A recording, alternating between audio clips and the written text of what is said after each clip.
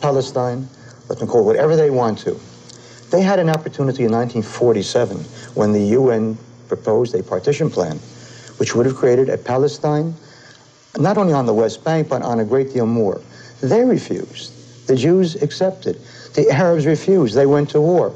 Let them learn. If you refuse and you start a war and you kill us and you lose, you lose.